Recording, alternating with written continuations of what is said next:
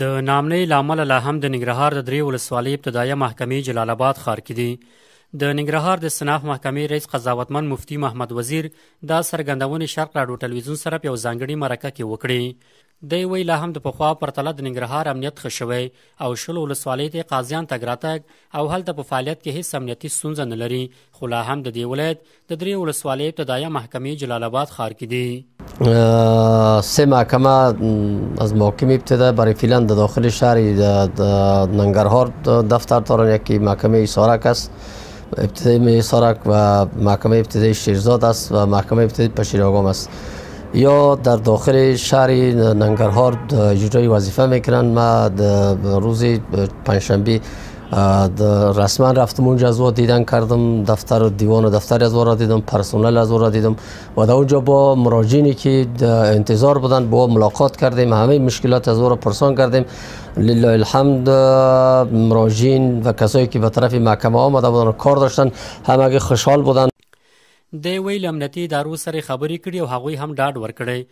چې ستونزه به حلوي چې هر وخت امنیتي ادارو اجازه ورکړه نو درې واړه ولسوالۍ ابتدایه محکمې به همالته فعالې کړي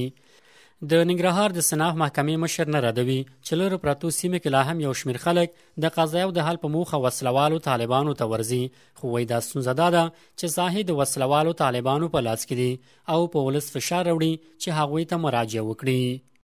مخالفین دولت بناوی از آنها مردم مجبور میکنه و مجبور میسازه که به طرف و رجوع بکنن مشکلات مردم و حل بکنن در جای است که در اونجا دولت دسترسی نداره جای دور است که از کنترل نیروی امنیتی بیرون است به اساس مردم به طرف طالبات چه میکنن رجوع میکنن و این فشار طالبات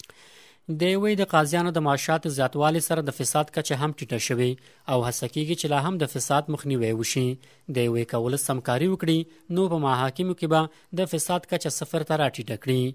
د قضاوتمن مفتي محمد وزیر په وینا د ننګرهار په محاکمو کې یوه ستونزه د ښځینه قاضیانو نشوالی دی چې د حل لپاره یې هڅې ګړندۍ کړې دي.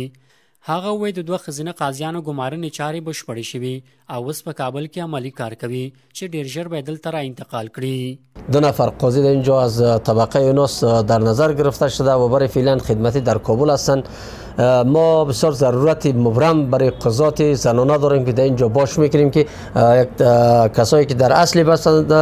در تشکیل سال 1399 اونا اینجا بیان مستر خدمت به مردم شریف ننگرهار بشوند د ننګرهار د استناف محکمې رئیس رد نه کړه چې په نظارت خونه کې تر نظارت لاندې د یو شمېر بندیانو دوسیې به په وخت نه څېړل کېږي خو وایي دا ستونزه د دوی نه بلکې د استناف څارنوالۍ ده چې دوی د حل په موخه یا د ادارې سره خبرې کړې دي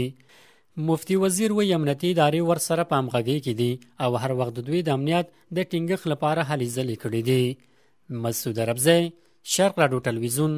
جلال آباد